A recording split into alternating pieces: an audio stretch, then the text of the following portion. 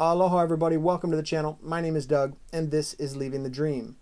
On January 4th, 2022, the very same day that Sam Kapoi would turn himself into federal authorities to begin his 18 year long federal prison sentence, I released an interview with Sam where we discussed his involvement in the conspiracy to distribute crystal methamphetamine that landed him in prison.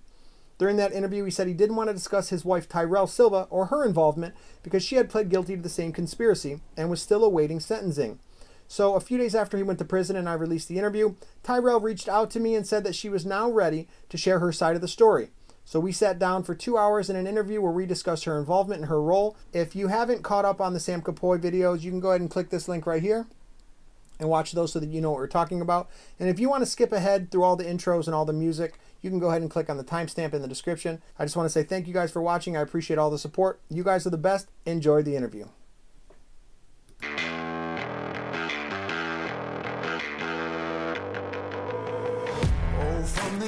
Ashes I will rise.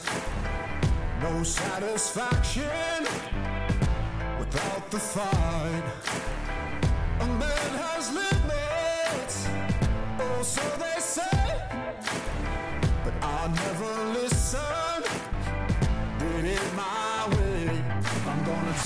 take mine I paid my dues I dare you to walk a mile in these shoes The beat in my soul just keeps getting louder Give me some of that power Tyrell Silva. Hi, Doug. Hi, can you hear me? Yes, I can hear you. Can you hear me well? Yeah, I can hear you good. Thanks for doing this. Of course. Tyrell, did I ask you to do this interview? No, you did not. Have I paid you to do this interview? No, you have not. Have I promised you anything to do this video? No, you did not. So you're doing this interview because you want to and free of charge. Yes. I know this isn't easy. I know that your life is not easy right now. It's a scary time and your future is uncertain. Um, so I just want to say thank you. I appreciate you coming to me to do this. I know a lot of people are wondering. I get hit up every day about you and what's going to happen and what does the plea deal mean? What's the truth? What's her story? You have a different perspective than Sam because you got to see what happened with the last one that I did with Sam. And uh, Sam didn't have that. He just came in blind.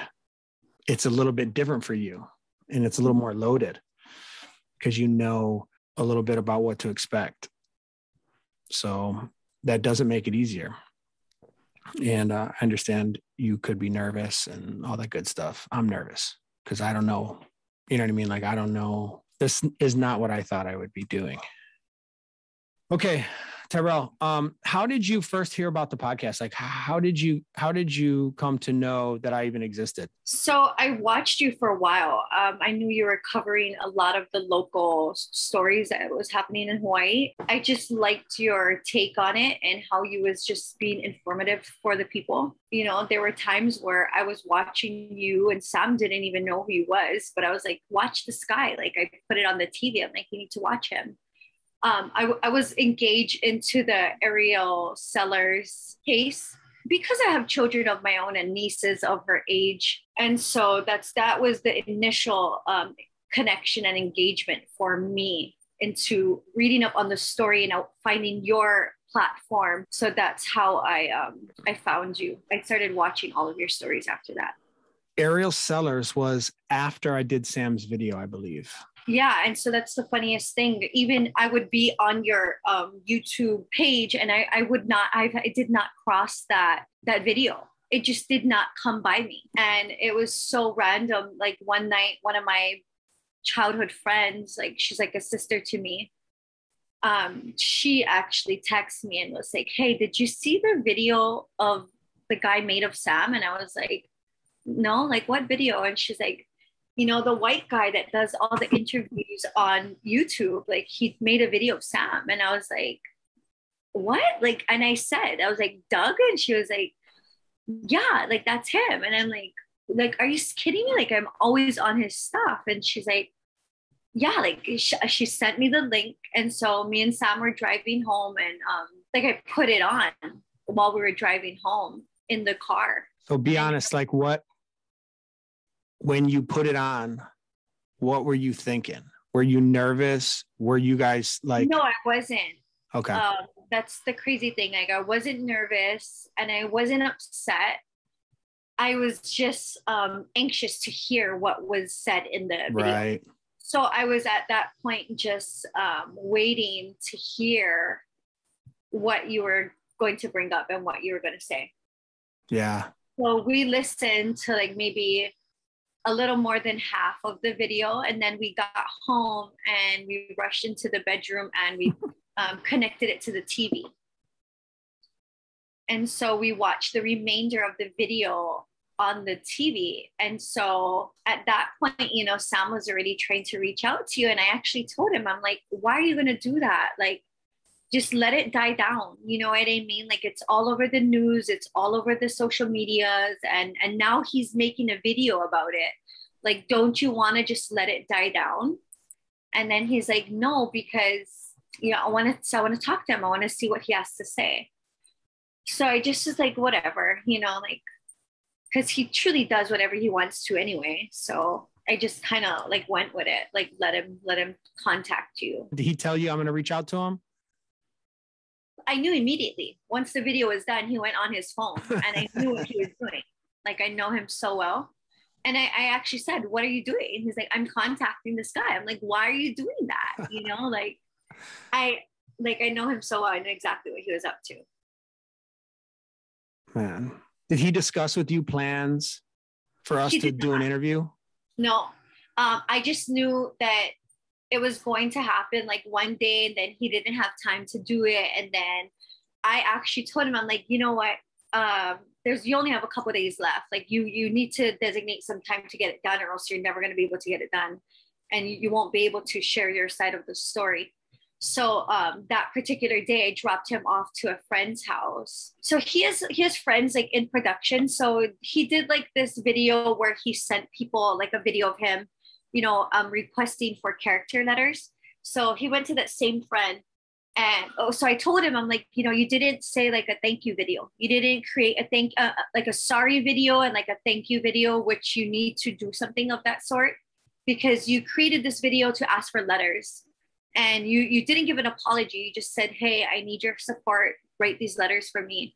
So i i actually told him like you need to create a video like first of all apologizing for what happened and secondly thanking them for coming to your aid and supporting you and sending you those videos so he did um, he actually did videos that i didn't even know about till after he went away um, because they put the files in a Dropbox and then he sent me the Dropbox. And then um, when I was looking through the Dropbox, all of these separate files of videos, then I like I found a video for me, which I didn't even know he did.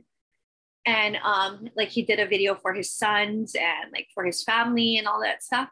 And even in your video, like you had a bonus clip that I didn't even watch. I watched that like weeks after. I would say like two and a half weeks after Wow. and um, that was a really emotional um, that was a really emotional time because i didn't know that he created that video um, where he just like says sorry to me and whatever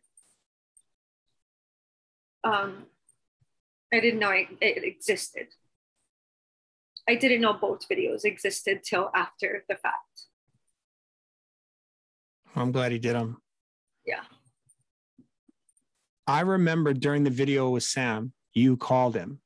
yes Did you know he was doing that interview with me? yes Mhm. Okay. Mhm. Did you want him to do the interview? I mean, after he explained to you what he was going to do.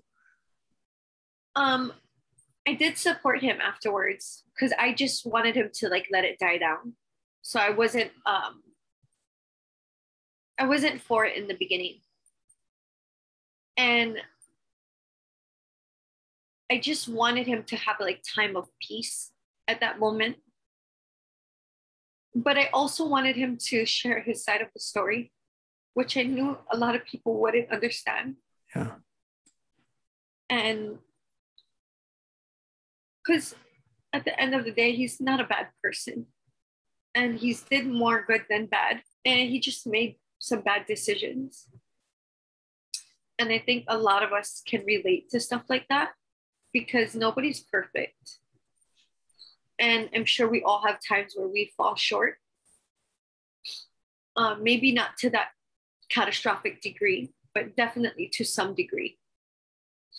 But I did want him to share um, his side of the story. I felt like he deserved that. When you watched the videos, is there anything that you regret him talking about or wish he wouldn't have talked about?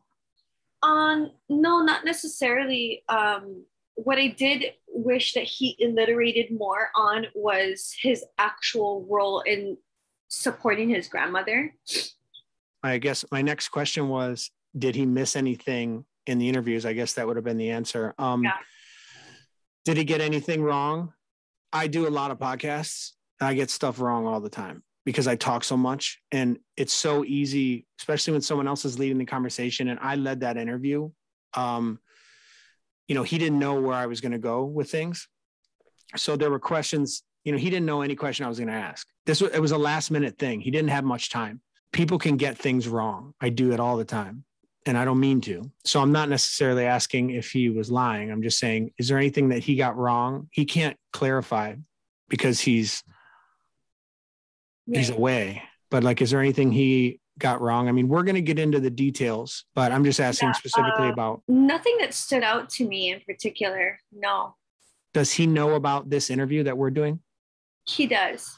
Yeah, I, I emailed him initially. Um, after we discussed um, the first time about making this video, um, he was like, "Yeah, you know, hun, like you should, you you should definitely tell your side of the story. Like it's important that you also um, come forward and share your side, because he, you know, he feels like I have more of the shit end of the deal. So it's um, he always supported the this video for uh, for me and you. Like he was just very much wanting to wanting me to get my story out there. You know. So why do you want to do this video? Well, initially, what urged me or compelled me to do this is one, when you were coordinating with Sam on his video and you wanted to like share my information in the credits, I didn't want that because I didn't want to be in the public eye and be in the media and um, I didn't want the attention. And then secondly also to give me a piece of a, sense of peace and clarity so i can navigate my way through this ordeal as well. So i just wanted to be in the outskirts as much as possible that was my focus you know i was like i didn't want to do it to save my kids embarrassment and then i did want to do it because i wanted to tell my story So it's more like a timing thing. yeah You wanted to do it, but it was too early. Sam was going away. yeah Well, we're getting closer now Mhm. to the sentencing, which is going to be Valentine's Day, Monday. So in three days, correct? Mhm. Okay. All right. So tell me about you. Tell me about your heritage. Like, where were you born? Where did you go to school? Um, that kind of stuff.